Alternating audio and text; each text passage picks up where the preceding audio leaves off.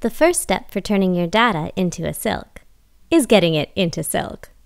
This is actually very simple to do. While entering your data manually is fine, uploading a CSV file is much quicker.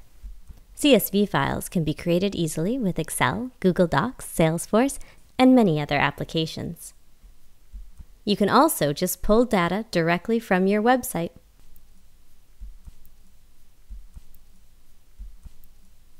Still have questions? The team at Silk is here to help. We have tutorials, FAQs, and actual human beings to answer those questions.